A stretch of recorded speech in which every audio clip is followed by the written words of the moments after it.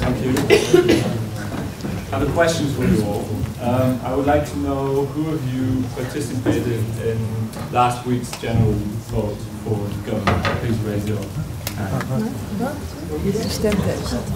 Wow, I'm pretty impressed. That kind of destroys my intro, to be honest. because I wanted to say, oh, why aren't you going? It's such an important thing.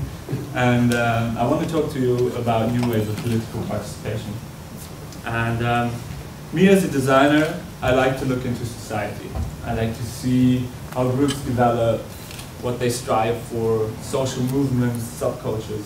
But I, what I really like most is activism. Activism for our environment, activism for peace, activism for human rights. And if you think about it, all this is about change. If you go a bit deeper, you can actually detect some sort of political transition. Right now we have good old democracy. We can go vote, we can go onto the streets to demonstrate that we're not really happy with what is going on. We can even sign petitions. But with all this new technology, the internet moving into our daily lives, it also transforms other areas. We just heard it, and it is the same with democracy, which is called e-democracy. And in e-democracy, you're actually able to vote at any time or everywhere where you are. You can form communities without actually physically meeting. And you can participate in an enormous number of ways. So for me, the question really is, what are these ways of political participation? How could they look like? Why can't they be fun? Like seriously, why does it have to be such a hard business taking part in politics? So why don't we create a game? So think about the fact, you're sitting in the tram like every morning, you're looking for the metro, and you're pretty bored, and suddenly you stumble over a double-sided announcement from the government asking you for your opinion. And it explains the certain political issue, and it says, if you get out on the next station, you have to decide if you go left or right. So if you go right, you're against this thing, and if you go left, you're for it. And once you reach the top of the stairs, there's cameras tracking the amount of people going up. And you can actually, through data processing, immediately see how the society thinks about this current issue.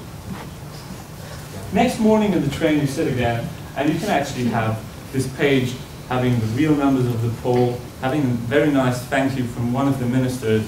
And I mean, this is great, isn't it? This is fun, this is convenient, you can do that every day.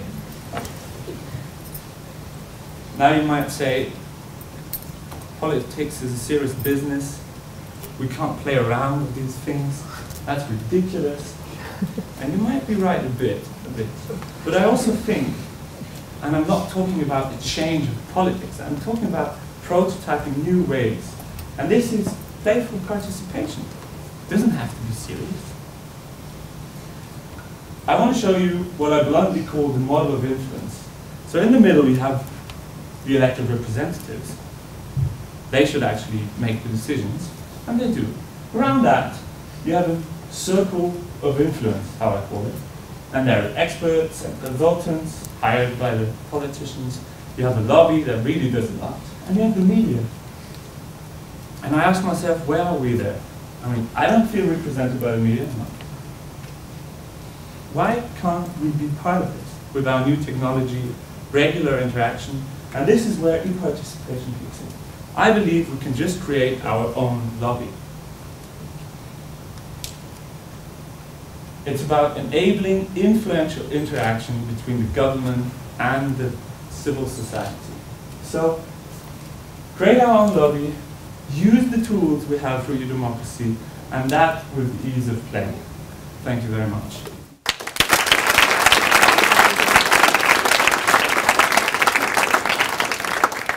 Thank you, Robin. Um, judges, to you. Um, I can say something. Um, I think your slides are very well designed. Thank you.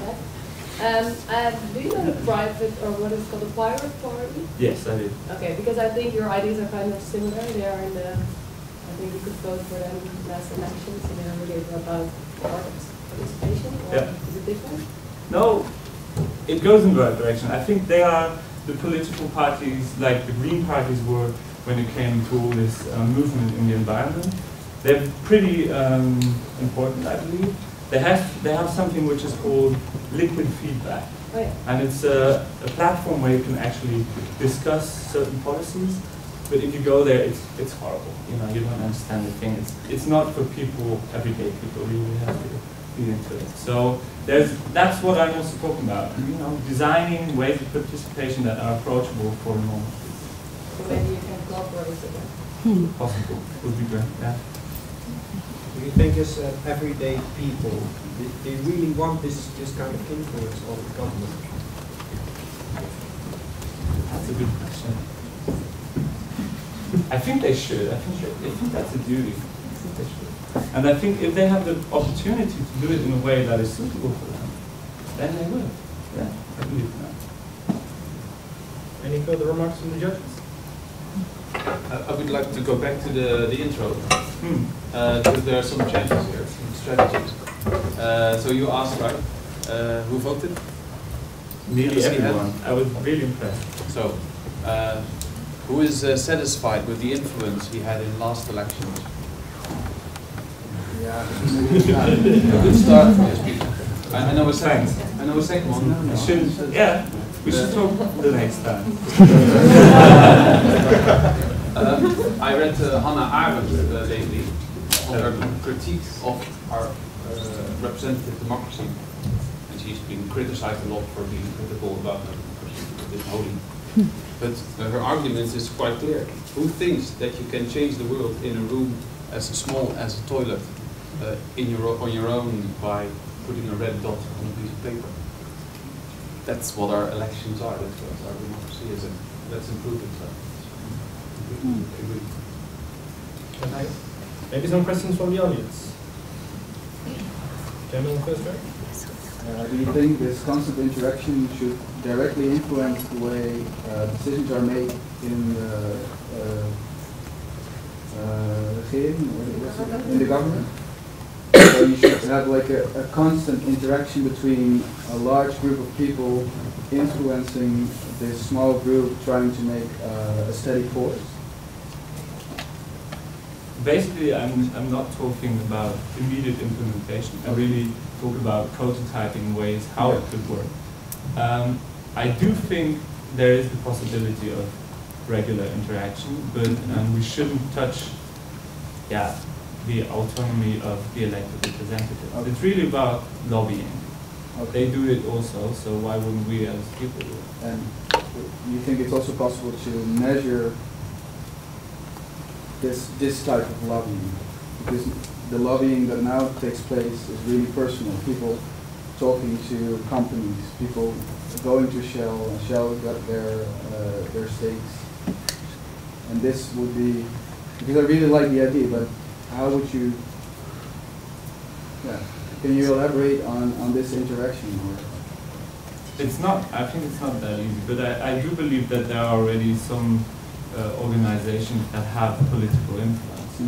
So um, I, I do see the potential to create organizations behind these kind of uh, interactions that have the power to, to influence and to personally talk to people. Yeah, so they're organizations, not individual people. Yeah, sure. Gentleman over there? And on the one hand, for your game to work, or for your lobby to work, you need IDs. So you need to get IDs on the attention, then you have a lobby. On the other hand, for your game to work, you also need to have IDs, which may spring from the lobby. So which comes first, the IDs or the lobby? Well, I personally think that um, there are a lot of ideas already, and they, they really need to be discussed. And I, that's one part where I really agree with um, my former speaker. It is about people that explain certain things that are too complex for us. And once they are explained, we can also decide on them. So it really it starts with a new idea, a certain issue, then it comes to the point where people can decide upon it.